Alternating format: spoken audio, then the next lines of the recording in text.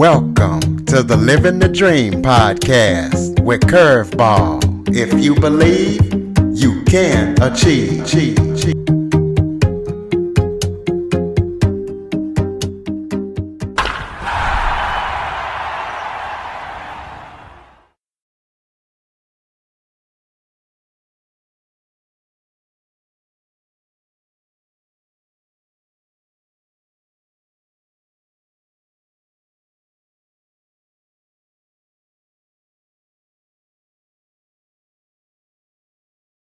Welcome to the Living the Dream with Curveball podcast, a show where I interview guests that teach, motivate, and inspire. Today, I am joined by veteran, author, and journalist Kristof Morrow. We're going to be talking to Kristof about his books and about his veteran service. And by the way, happy Veterans Day. And thank you so much for joining us, Chris. Thank you for having me, Curtis. It was very kind of you. Why don't you start off by telling everybody a little bit about yourself? Uh, well, uh, my name is Kristof Morrow. I'm from uh, Houston, Texas. Actually, I was born and raised uh, just outside of uh, Houston. And um, I left for the military after uh, I was actually the first kid to graduate high school, even though I was the third uh, born out of four. And um, when I went to the military, I found out I had Tourette's. Uh, I didn't know that was I didn't have a diagnosis yet, but I they I was disqualified from serving any longer because I uh, because of that. Um, and uh, I moved around a lot. I had a really uh, around the country and uh, got into journalism and 911 dispatching and a bunch of other stuff. And I won some awards in journalism and um, I because I, I taught myself actually to do that. So uh, to write and um, then I moved to Canada after that, and I've been living in British Columbia for the last five years. And I just published my first book this year called The Second Son. So. Well, for those who don't know what Tourette's is, explain to them what it is and what the symptoms are. Ah, okay. Well, uh, Tourette's, uh, it's it's called a syndrome, and a syndrome, uh, for anyone that doesn't know, it's a, a pattern of behaviors that's somewhat predictable uh, but the the cause, the underlying cause, is unknown. Um, and so uh, Tourette's, we uh, we know that part of the brain is uh, literally deformed, and so um, my ability to like have any restraint in in many senses uh, is um, is crippled, um, and so there's along with having a number of like ADHD, OCD, and all the others um, that are comorbid, but Tourette's is a neurological disorder. So what happens is I lose control over my body, and certain parts of me um, will uh, do some kind of motor tic, um, and uh, it's in it's involuntary. I can't stop it, and um, it's actually led to a lot of injuries and despair. But um, it's what I deal with. So of catamaran. Okay, well, you, you talked talked about being in journalism and winning some awards. So explain mm-hmm. to people what you did in journalism and the awards you won. well, um, okay, so I, I, started out in sports um, because that's where the position was available, and uh, but uh, and agriculture. But I wanted to cover uh, news. I wanted to do uh, news writing, so I told my editor that, and within a few like a month or so, I was um, I was the main news writer. Um, and uh, okay, so she told okay, she called me in her office. She said, "I want you to write a feature," and I said, "Okay." So I uh, I found out when I went back to my desk what a feature was. and uh, I had to write it about this guy named Ray Yannick. And a feature is just basically I'm going to talk about this guy's life experience and just tell you who he is. That's it. Um, you feature someone, uh, and so I said, okay. Um, I studied the structure of an article that I uh, of a writer that I admired, and then um, I wrote an article, and that one won an award. Um, and then from the South Texas Press Association, um, and then from the Texas Press Association, from like the main one, I got an award for photography because there was a I took a photograph of a of a woman being uh, rescued um, in a one of those canopy military trucks from the National Guard. And uh, yep, mm, that was it. So tell us how difficult it might be living and writing having a disability. Well, um, Tourette's, the, the, way that mine manifests is, is quite violent uh, against me. I I slap and punch myself in the face all day.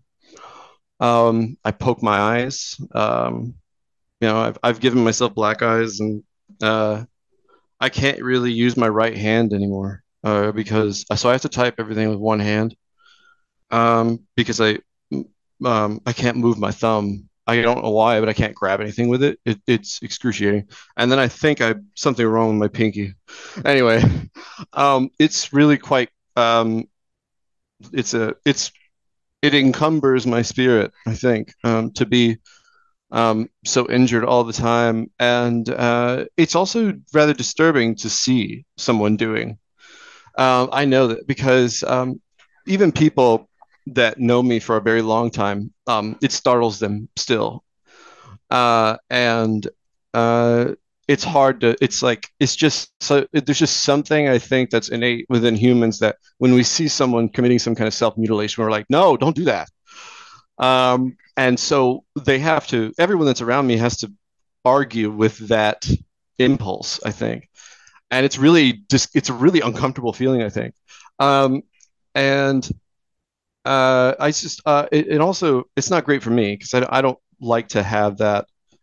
Uh, it hurts first of all. It really does. Um, I spend a lot of my time reeling in pain, um, even while I'm trying to work sometimes uh, on my book. Um, but working on my book is the closest thing that I get to uh, any kind of peace, um, sanctuary.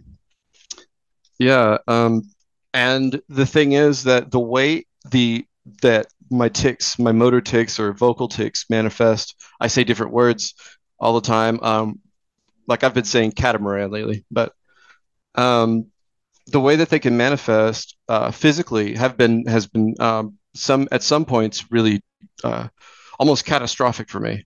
I had a tic where I was clenching my teeth and I couldn't stop, and like I was afraid I was going to break my own teeth.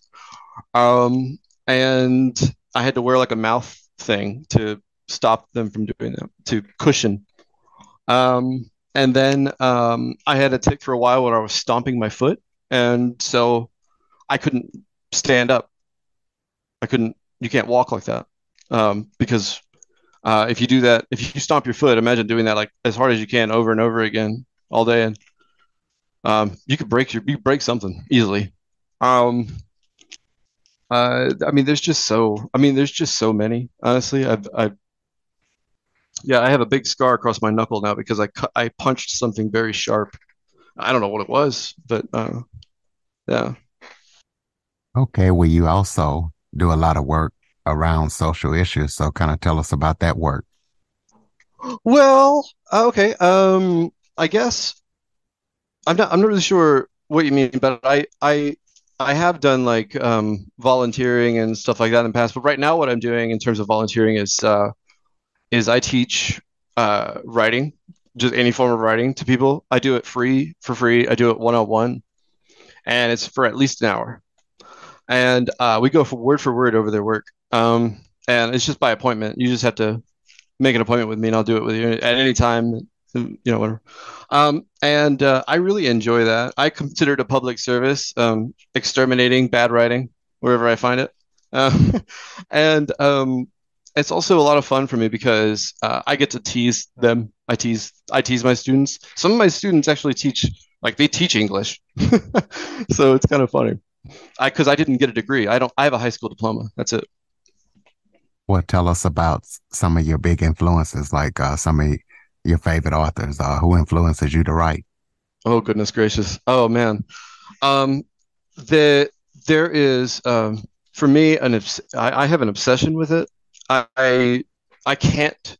I have to try to do other things to not do my writing because if um, and it's one of those things. If I avoid, I feel terrible. I think everybody can um, not relate to that. Um, but my work uh, is like is probably the most important thing in the world to me. Um, and the things that I try to do, I try to like uh, I try to play video games, but I haven't been able to do that lately because of my hand. Um, but I generally do at least a thousand words a day.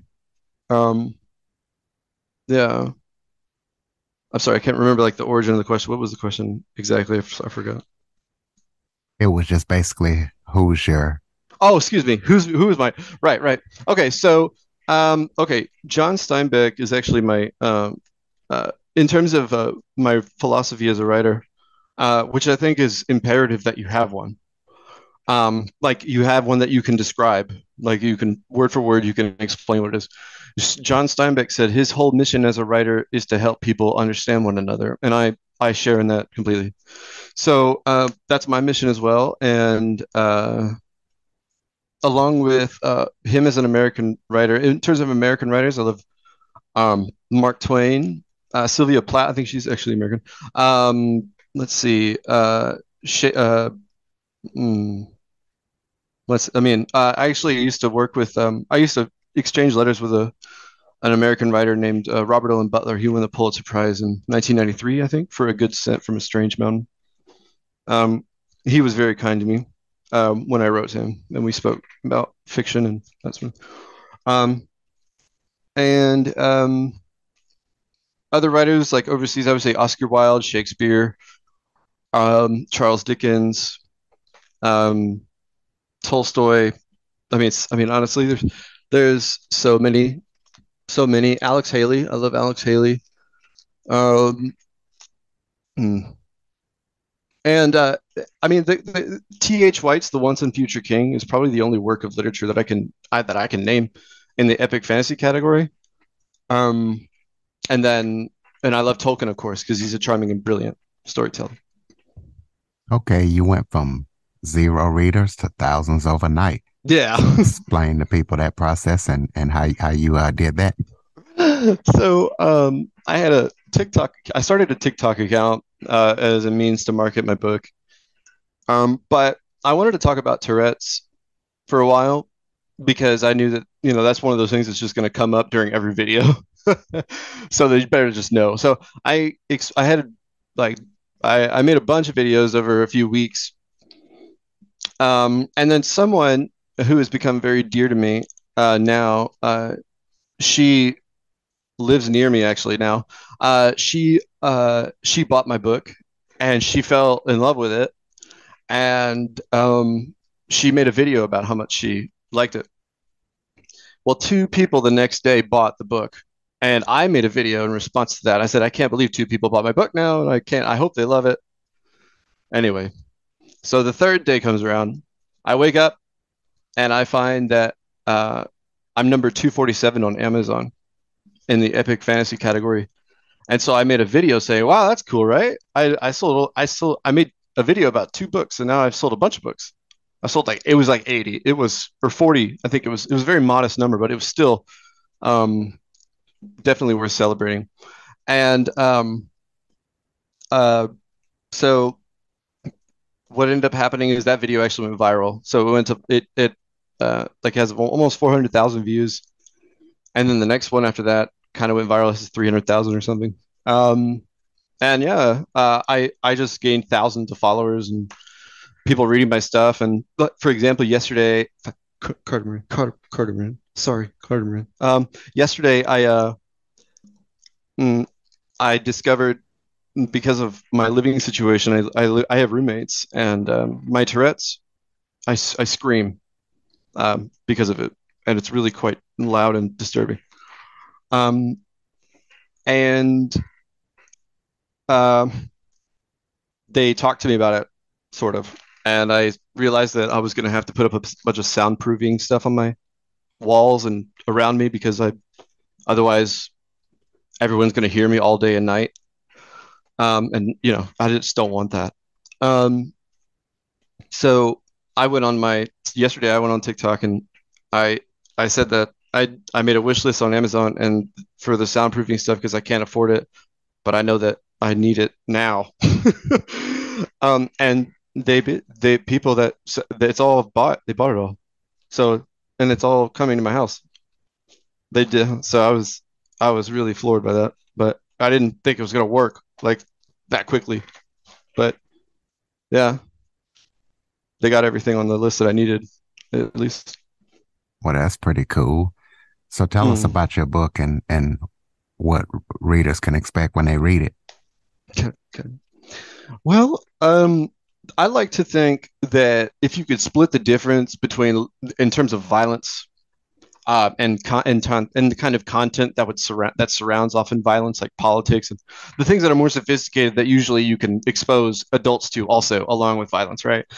Um, it's like splitting the difference between Game of Thrones and Lord of the Rings. So like if you can imagine somewhere in the middle of there, but it's all it's leaning more towards Lord of the Rings and and uh, yeah, uh, because I I don't uh, it's it's a it's an epic fantasy that spans like literally half a world.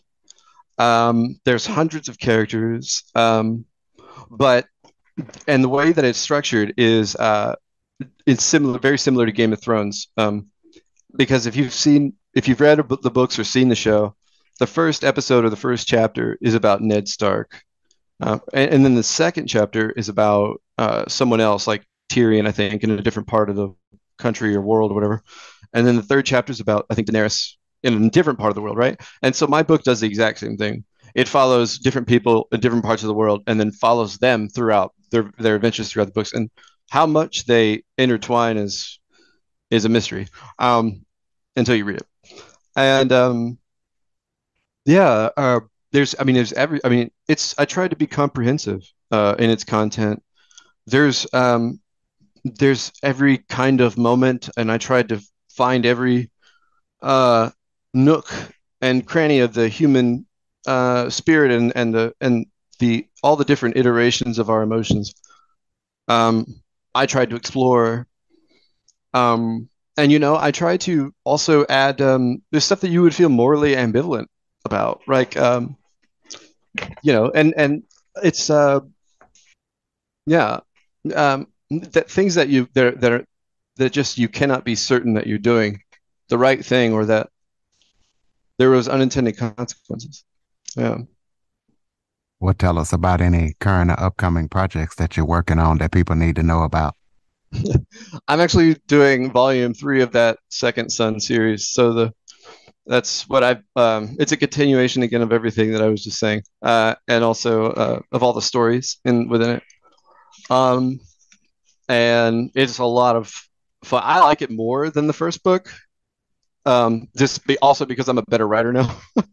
um, because I actually I uh, uh, the the the book I just uh, published this year is my return to writing after quitting for five years. I quit when I was after I was a journalist. Then I moved to Canada. I stopped writing for five years, from the ages of 27 to 32, and then um, the BC government, the British Columbian government said that I needed to find that they couldn't find me a job like that could I could do because because of my condition. So the lady, she's like, maybe you should just start writing again. I mean, if that's what you have, that's what you can do. So I, that's what I did, and I started writing the book about ten minutes later.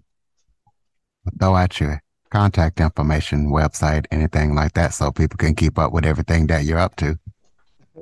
Um, you can go mm, if you uh, you can go to Amazon or any kind of social. If you go to any social media website, uh, uh, Instagram, Facebook, or uh, TikTok, you can type in my name, Kristof Morrow.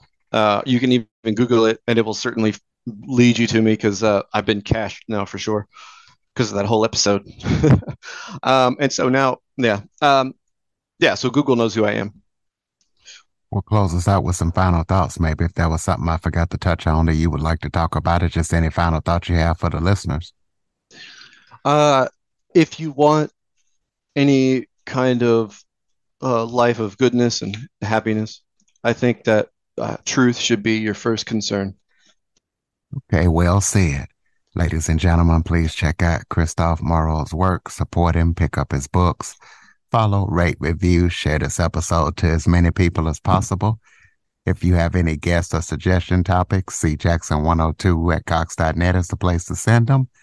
As always, thank you for listening. And Kristof, thank you for joining us and sharing your story. Thank you, Curtis.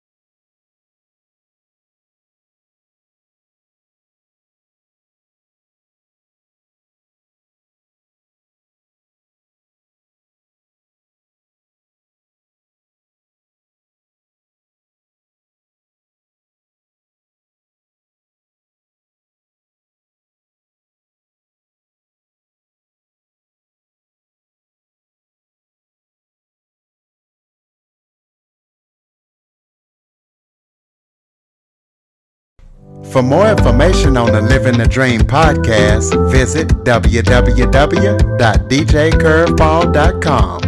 Until next time, stay focused on living the dream.